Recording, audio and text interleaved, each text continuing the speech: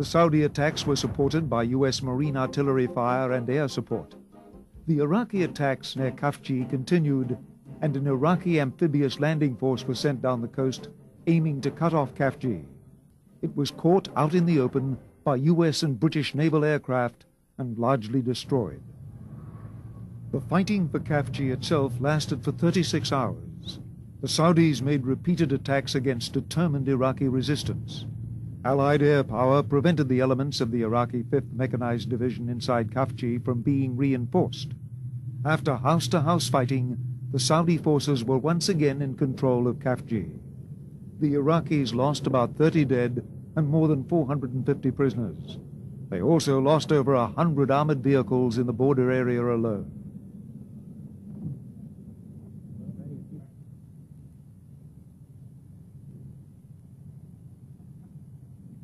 As the Allied forces began interrogating Iraqi prisoners, it soon became clear that Khafji had been intended as much more than a minor border skirmish. Saddam Hussein had planned the attack as a major offensive involving three of his best armored and mechanized divisions and about a quarter of his total tank strength in the Kuwait theater. The Allied bombing and artillery fire thoroughly disrupted his plans. Only one division managed to begin the attack on Khafji on time. The other two divisions began the attack 12 to 24 hours late. By that time, Allied strike aircraft were swarming over Kuwait, attacking anything that moved. Iraqi reinforcements intended for the Khafji battle were destroyed before they had a chance to move south. The battle at Khafji was an important turning point in the war. It clearly showed to coalition commanders that the Iraqis were incapable of conducting sustained operations in the face of Allied air superiority. It also clearly revealed that the average Iraqi infantryman, low on water and food and weary of the war, was unlikely to fight tenaciously. I think it was uh, extremely critical. Number one, for the confidence and uh, for the morale of the Saudi forces. And in many respects, this was a Saudi victory with our support. The Iraqis, as you well know, are reputed to be the biggest and the best military in the Middle East. But this Saudi success has proven that they may no longer be the best, and many more defeats like this for the Iraqis, and they certainly will no longer be the biggest either. The importance of Khafji was not widely recognized at the time, but the performance of the Iraqi army made the coalition commanders confident that a ground offensive would go much more smoothly than they had originally anticipated.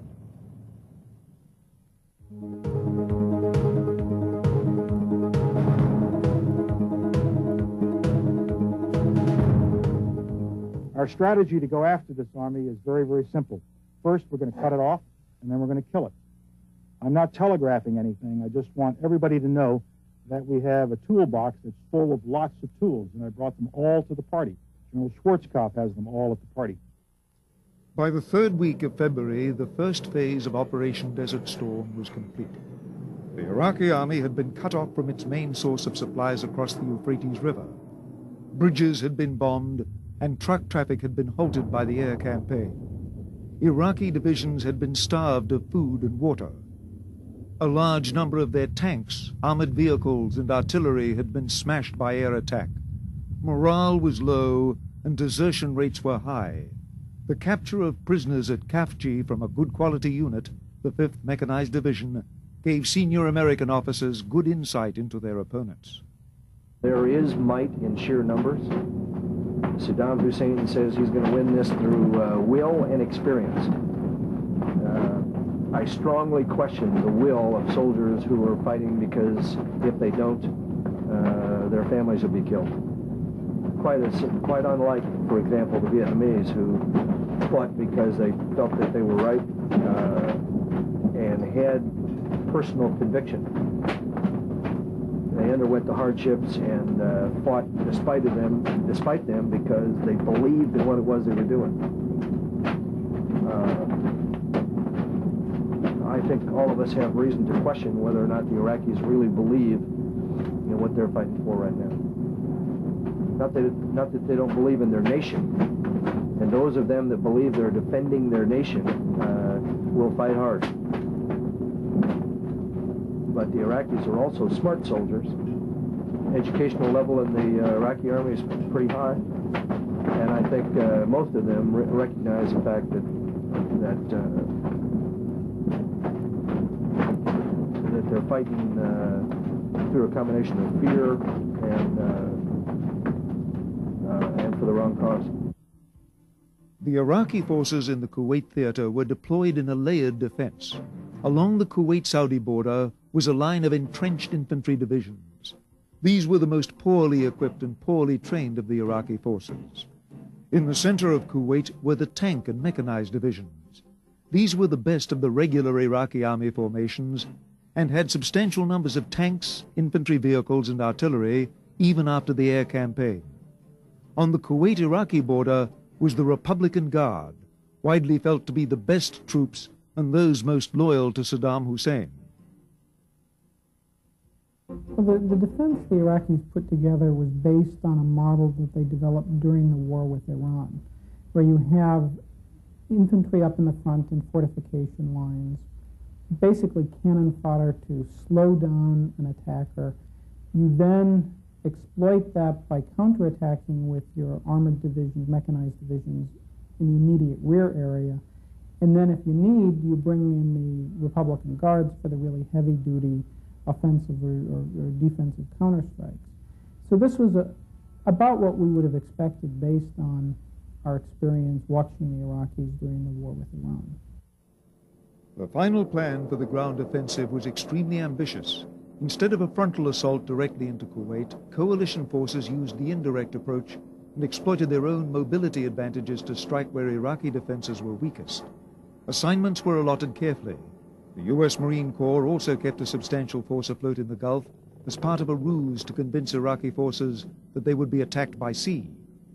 We continued our heavy operations out in the sea because we wanted the Iraqis to continue to believe that we were going to conduct a massive amphibious operation in this area. And I think many of you recall the number of amphibious rehearsals we had to include Imminent Thunder that was written about quite extensively uh, for many reasons.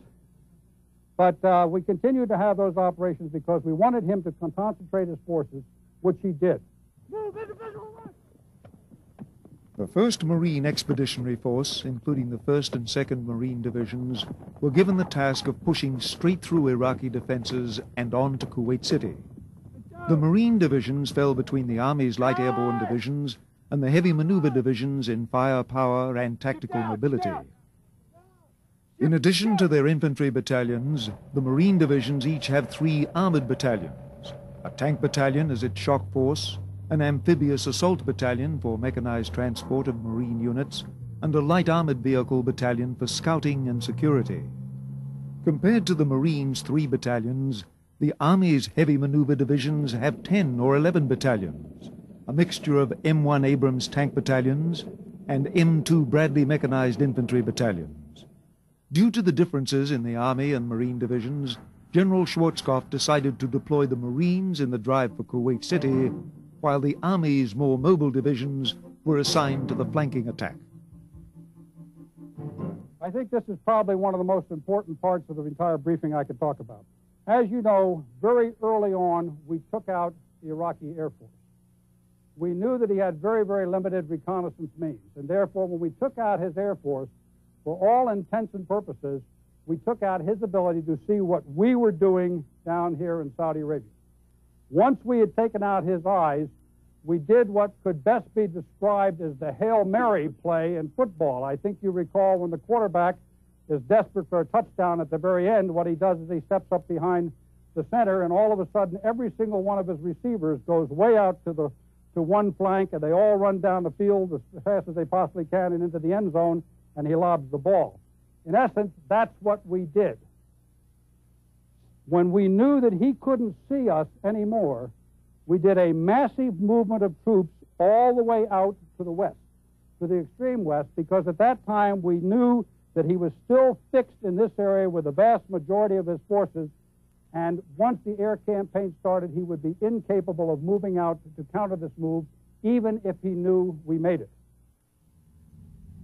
The Marine drive was supported by the coalition Arab forces, including Egyptian, Syrian, and Saudi units in western Kuwait, and a Saudi and Kuwaiti task force along